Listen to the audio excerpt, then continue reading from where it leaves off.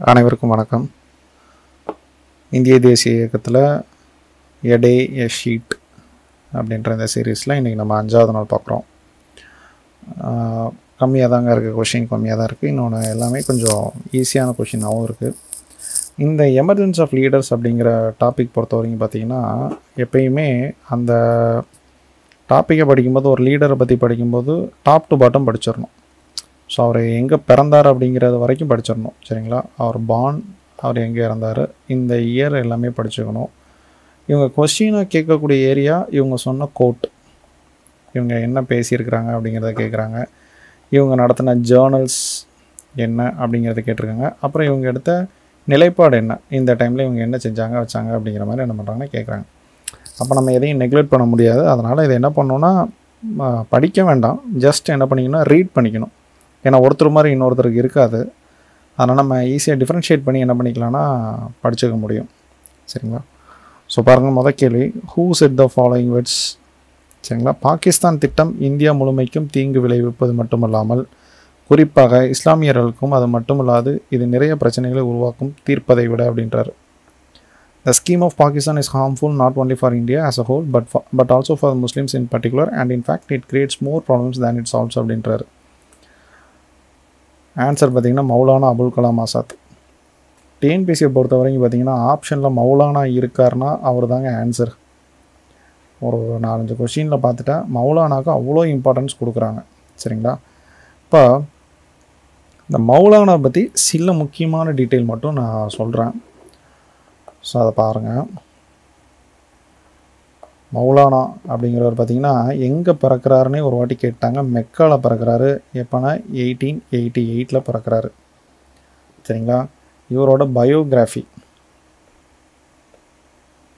சரிங்களா? இவரோட பயோகிராஃபியோட பேர் தஸ்கிரா.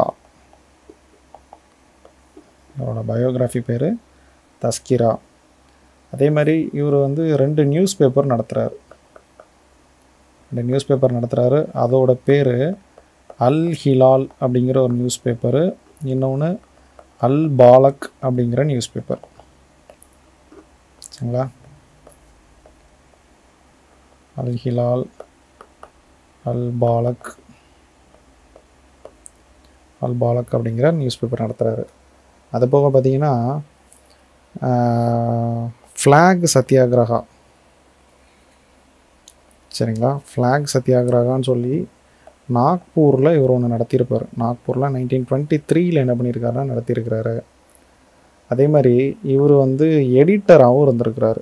சில நியூஸ் பேப்பருக்கு என்னென்ன நியூஸ் பேப்பர் அப்படின்னா லிசான் உல் சித்திக்.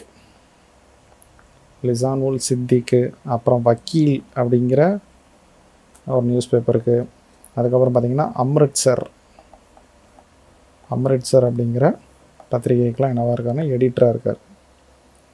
அப்புறம் இவர் எழுதின புக்கு பார்த்தீங்கன்னா India wins freedom India wins freedom இங்கிலீஷில் சொல்கிறோன்னு நினைக்காதீங்க பட் இது தஸ்கீராவை தமிழில் சொன்னாலும் தஸ்கீரா தான். நாக்பூராக தமிழில் சொன்னாலும் நாக்பூர் தான். இந்த ஃப்ளாக் சத்தியாகிரகா அப்படிங்கிறது பார்த்தீங்கன்னா கொடி சத்தியாகிரகம்னு சொல்கிறாங்க so nineteen twenty three லிசானுல் Siddique அப்படிங்கிறது வக்கீல் அம்ரிட்சர் அப்படிங்கிறது இவர் எடிட்டராக பணிபுரிஞ்ச பத்திரிகைகள்.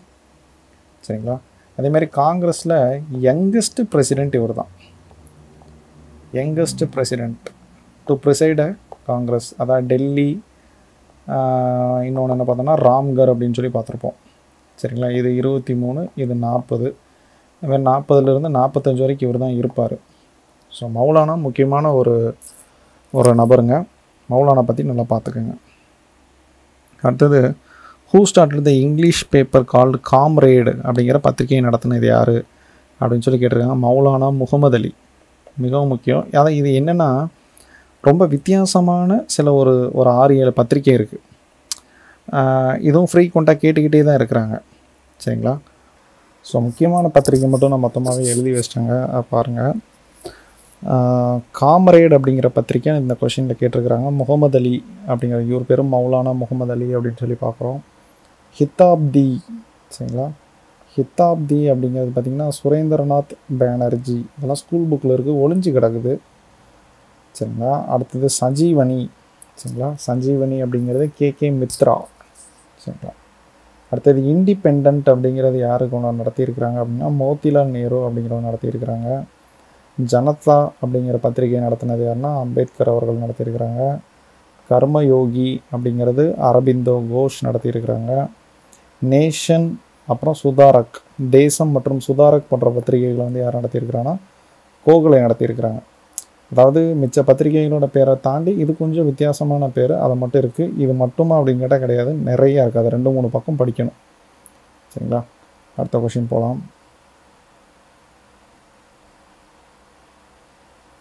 அடுத்தது பாருங்கள் Bhagat Singh was sentenced to death because of லாகூர் கான்ஸ்பிரசி கேஸ் சரிங்களா? லாகூர் சதி வழக்கு அப்படின்னு சொல்லி பார்க்குறோம். இந்த லாகூர் சதி வழக்கு பார்த்திங்கன்னா ஏன் நடக்குது அப்படின்னு சொல்லி பார்த்தீங்கன்னா சைமன் கமிஷன் வருவாங்க. சைமன் கமிஷனுக்கு எதிர்ப்பு தெரிவிப்பாங்க. அதுக்கு பார்த்தீங்கன்னா லாலா லஜபதி ராயன் என்ன பண்ணுவாங்க அப்படின்னா அடித்தே சாவடிச்சிருவாங்க. லத்தி வச்சு லத்தி சார்ஜ் கொடுப்பாங்க. அப்படி கொடுக்கறது யாருன்னா ஜேம்ஸ் காட் அப்படின்னு சொல்லிட்டு ஒரு எஸ்பி சரிங்களா? அவர் கொடுப்பாரு. இந்த குரூப் இருக்கிறாங்க இல்லையா? பகத்சிங்கு ராஜகுரு சுகதேவ். ராஜகுரு சுகதேவ் அப்படிங்கிறவங்க பார்த்தீங்க அப்படின்னா இந்த ஸ்காட்டை கொள்றதுக்கு பதிலாக என்ன பண்ணிடுவாங்கன்னா சாண்டர்ஸ் அப்படிங்கிறவரை கொண்டுருவாங்க சாண்டர்ஸ் அசாசினேஷன் அப்படின்னு சொல்லுவாங்க இல்லை சாண்டர்ஸ் மர்டர் கேஸ் அப்படின்னு சொல்லி சொல்லுவாங்க. சாண்டர்ஸ் அப்படிங்கிற இன்னொரு ஒரு அதிகாரியை கொண்டுருவாங்க அதுதான் என்னன்னு சொல்கிறாங்கன்னா லாகூர் சதி வழக்கு அப்படின்னு சொல்லி பார்க்குறோம். லாகூர் கான்ஸ்பிரசி கேஸ் அப்படின்னு சொல்லி பார்க்குறோம். இந்த கேஸில் இன்னும் ரெண்டு மூணு முக்கியமான டீட்டெயில் இருக்குது இந்த கேஸில் தான் இந்த ஜதின் தாஸ் அப்படிங்கிறவர் என்ன பண்ணிடுவார் அப்படின்னா அந்த அறுபத்தி நாலு நாள் உண்ணாவிரதம் இருந்து உயிரை விட்டுருவார். Sixty four days hunger strike இருப்பார். ஹங்கர் ஸ்ட்ரைக் இருந்து என்ன இறந்துருவார் அவர். சரிங்களா? அடுத்தது பார்த்தீங்க அப்படின்னா இதை கேட்பாங்க ஜேம்ஸ் காட்டு சாண்டர்ஸு ஓகே. இதில் என்ன ஆகுதுன்னா இவங்க எல்லாருக்குமே மரண தண்டனை அறிவிப்பாங்க. அந்த மரண தண்டனையை அறிவித்தது என்னைக்கு? சென்டென்ஸ்டு சரிங்களா? என்னைக்குன்னா அக்டோபர் ஏழாம் தேதி ஆயிரத்தி தொள்ளாயிரத்தி முப்பது. எக்ஸிக்யூட் பண்ணப்பட்டது என்னைக்கு தூக்கிலிடப்பட்டார்கள் அப்படின்னா இருபத்தி மூணு மார்ச் ஆயிரத்தி தொள்ளாயிரத்தி முப்பத்தி ஒன்று. சரிங்களா? லாலா லஜபதி ராய் இது வந்து எதுக்காக ஆரம்பிக்குதுன்னா சைமன் கமிஷன். சரிங்களா? ஆன்டி சைமன் கமிஷன் அந்த சை பாய்காட் ஆஃப் சைமன் கமிஷனில் இந்த பிரச்சனை நடக்கும். அதில் லாலா லஜபதி ராய் வந்து என்ன பண்ணுவாங்க லத்தி சார்ஜ் பண்ணுவாங்க. சரிங்களா? லத்தி சார்ஜ் பண்ணி அவர் எந்திக்க விடாமல் ஆக்கிடுவாங்க. அதுலேருந்து அவர் ஒரு மாதத்தில் இறந்துருவார். ஸோ அதுலேருந்து என்ன ஆகுது அப்படின்னா ஜேம்ஸ் காட்டு தான் இதுக்கு காரணம்னு சொல்லி இவரை கொல்லணும்னு நினைப்பாங்க.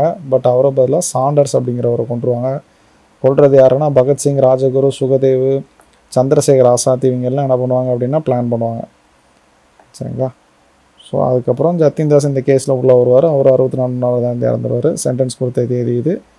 தூக்கிலிடப்பட்ட தேதி இது. சரிங்களா? அடுத்த கொஷின் பார்க்கலாம்.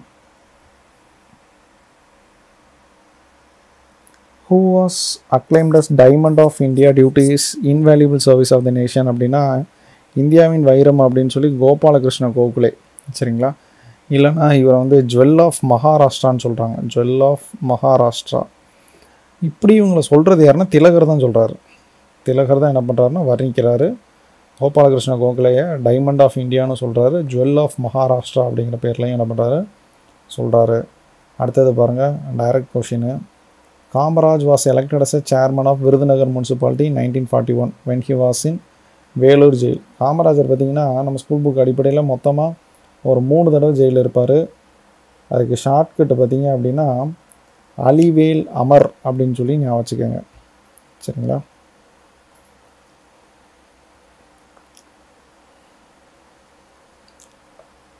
அலி வேல் அமர் அப்படின்னு சொல்லி ஞாபகம் வச்சுக்கோங்க. அலினா அலிப்பூர் வேலூர்னா வேலூர் அமர்னா அமராவதி. சரிங்களா? அதேமாரி ஆயிரத்தி தொள்ளாயிரத்தி முப்பது ஆயிரத்தி தொள்ளாயிரத்தி நாற்பது ஆயிரத்தி தொள்ளாயிரத்தி நாற்பத்தி ரெண்டு சரிங்களா? இதை மட்டும் ஞாபகம் வச்சுக்கோங்க. அவர் மூணு தடவை ஜெயிலுக்கு போயிருப்பார் அப்படின்னு சொல்லிட்டு ஞாபகம் வச்சுக்கோங்க. ஸ்கூல் புக்கில் இருக்கக்கூடிய டேட்டா அது. அடுத்த கேள்வி பாருங்கள் ஹூ ஆர் காப்புலரி காலஸ் ட்ரியோ சரிங்களா? ட்ரியோ என்று சிறப்பாக அழைக்கப்பட்டவர்கள் யார் யாருன்னா லால் பால் பாலா லாலா லஜபதி ராய் பாலகங்காதர் திலக் பிபின் சந்திரபால். இவங்க எல்லாருமே இந்த எக்ஸ்ட்ரீமிஸ்ட் கேட்டகரி அதாவது மிதவாதிகளோட நடவடிக்கையில் நம்பிக்கை இல்லாமல் இவங்களுக்குன்னு புரட்சியில் இறங்கக்கூடிய இறங்கின ஒரு மூவர் தான் யார் அப்படின்னா ட்ரியோ சரிங்களா? அடுத்தது provincial autonomy was a main recommendation of இது யாரோட ரெக்கமெண்டேஷனாக கோகலே. மாநில தன்னாட்சி என்பது டேஷின் பிரதான பரிந்துரையா யாரோட ப பிரதான பரிந்துரை அப்படின்னு சொல்லி கேட்டிங்க அப்படின்னா கோபாலகிருஷ்ண கோகலே தான் அதுக்கு முக்கியமான ஆள். சரிங்களா? முக்கியமான கேள்வி இது. ஞாபகம் வச்சுக்கோங்க. ஆயிரத்தி தொள்ளாயிரத்தி நாற்பதில் காமராஜர் வாரதாக்கு போவார். யாரை பார்க்கறதுக்கு போவார்னா காந்தியை பார்க்க போவார். சரிங்களா? காந்தியை பார்க்கறதுக்காக போகிறாரு டைரக்ட் கொஷின் அதெல்லாம். நாற்பத்தி ஒம்பது. The first Congress ministry of Madras was formed by Rajaji எந்த வருஷம்? ஆயிரத்தி தொள்ளாயிரத்தி முப்பத்தி ஏழு. அப்போ தான் இவர் மெட்ராஸோட ப்ரீமியராக இருப்பார். அடுத்தது பார்த்திங்கன்னா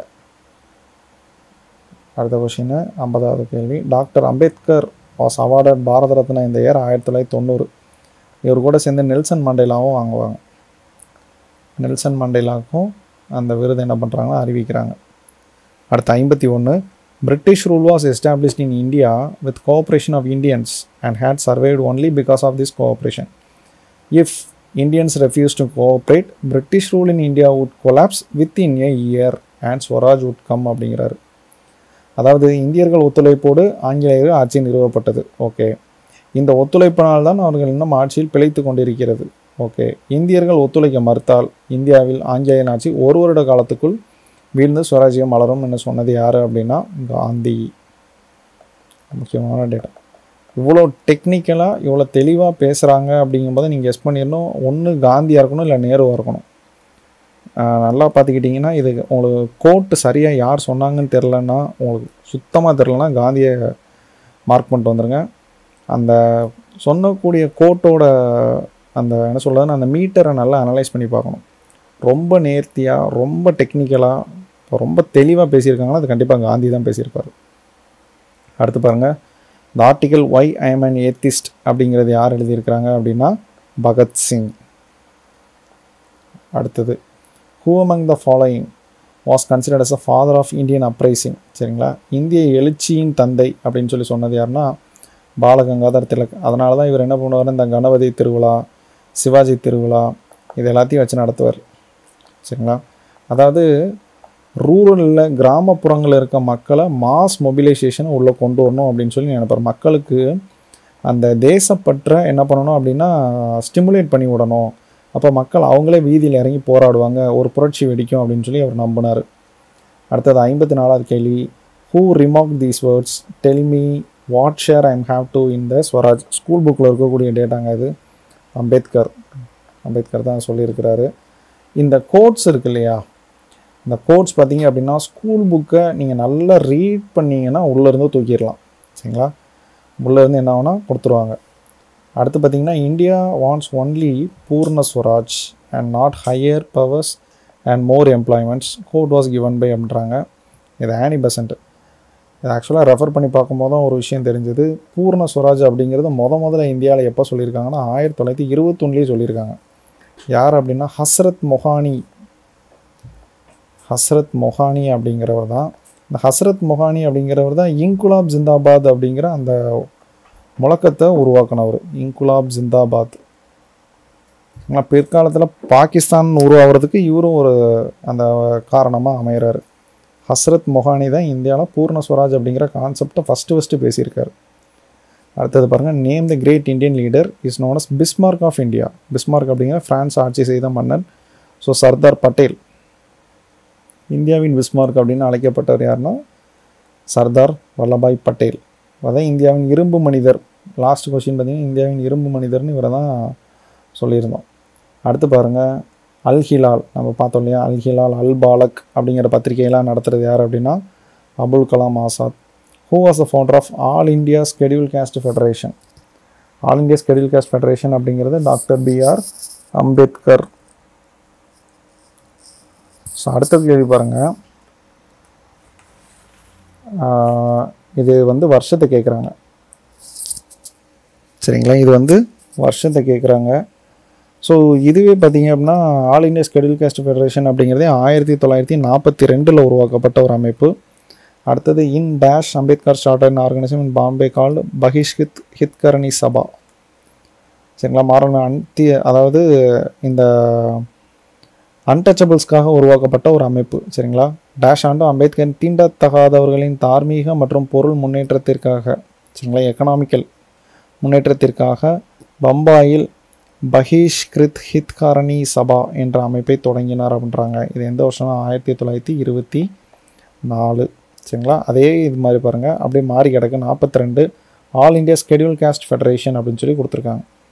Who was considers highest priest of communism communism பேசுகிறது யார்? இந்தியாவில் ஜவஹர்லால் நேரு. பிரிட்டிஷ் இதை சொல்லியிருக்கிறாங்க. சரிங்களா? ஜவஹர்லால் நேருன்னு பிரிட்டிஷ் இதை சொல்லியிருக்கிறாங்க.